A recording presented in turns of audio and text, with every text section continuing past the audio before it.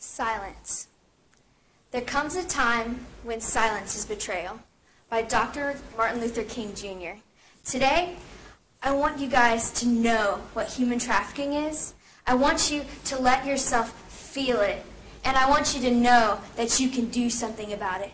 So as a group, as a collective here today, I want us to focus on being present and being here, right where we are. And I want you to let yourself feel these things I'm about to say, and I want you to be real and be focused.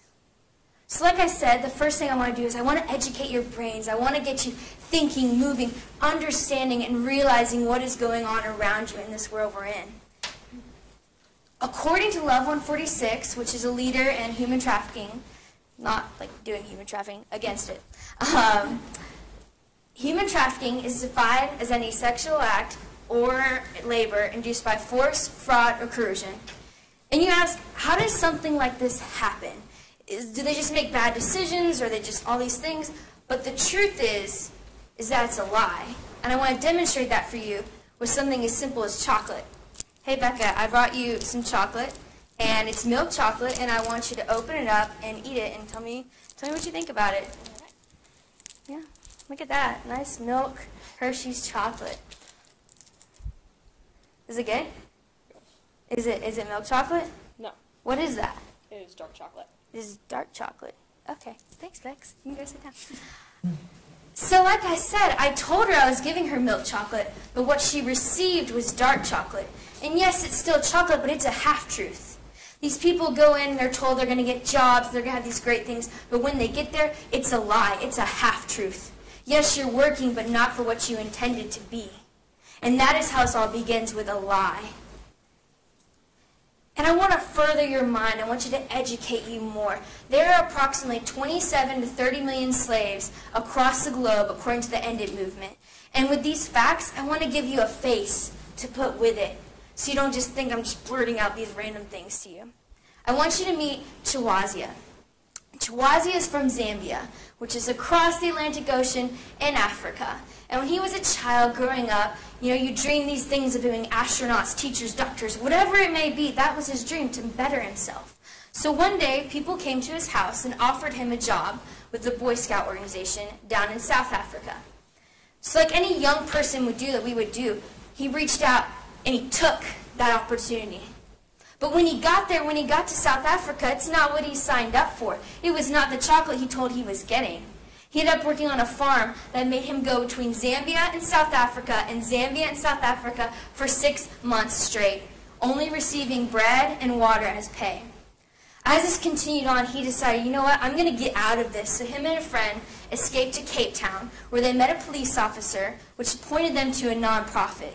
And at that nonprofit, Chawazia was restored. But sadly for him, he suffers now from PTSD.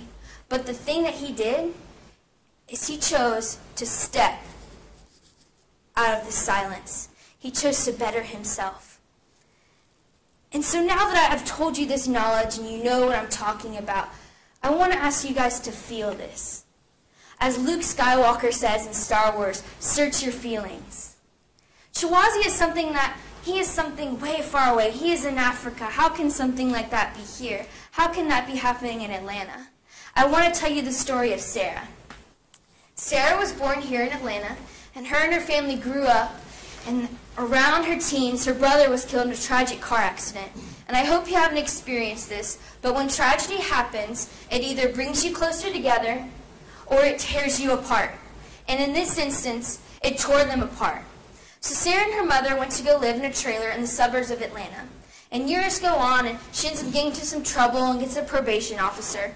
But the strange thing is, is that that probation officer was so kind to them. So one day, Sarah's just chilling in her room, and her mom comes in and says, you need to repay that man. As any normal teenager girl, she's like, what? What do you mean, Mom? Like, that's crazy. What are you talking about? And she says, you have to sleep with him. And he came in and took advantage of her. She was 15 years old. And this cycle, this vicious cycle kept happening and going on and going on. And when she was 19, Sarah had a son.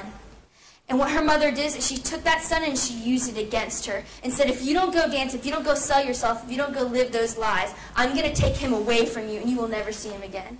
So like any loving mother, she worked to, to be with her son, the one whom she loves. Later on, she realizes her son is not in the best condition, so she sends him to his father. And then as she comes to her senses, someone gives her a book that tells her stories of women just like her and of this place called Wellspring Living in Atlanta. So, like Chawazia, Sarah decided to step out of the silence. She chose to get help. She chose to seek restoration.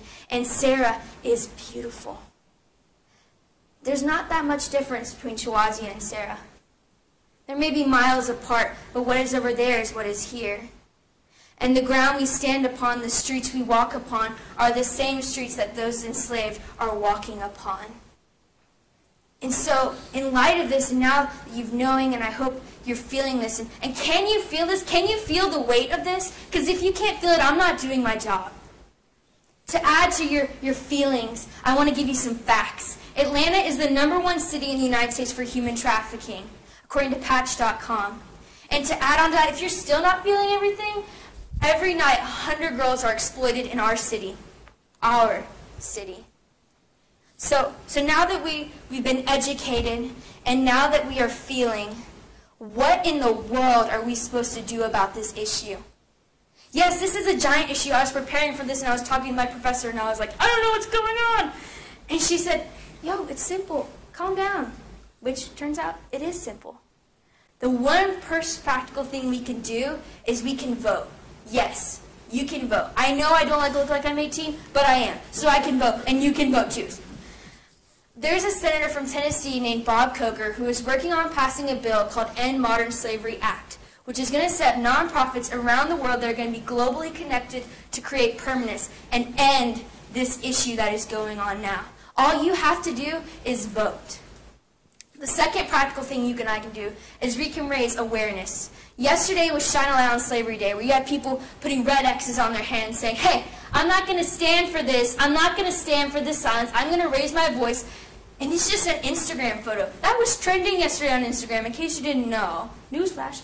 Um, and another, and to add on that thing, another thing we can do, and I think this is the most important thing in our generation, my generation, the upcoming generation, the generations before us, is we need to end the demand. This is not going to stop until the demand is stopped. So you need to teach your boys how to be men, and you need to teach your girls how to be women. And you need to be present exactly where you are. In the wise words of Yoda, do or do not. There is no try.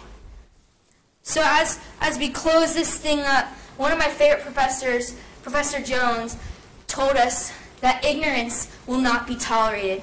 Well, welcome to the club. You are no longer ignorant. You know the issue and you know what's going on, and I hope that you have felt this light around us. Do you remember that silence that was so awkward in the beginning? Pretty sure I looked at most of you. that silence is what they live in. And that silence is what you and I live in if we choose not to say anything. It is a betrayal.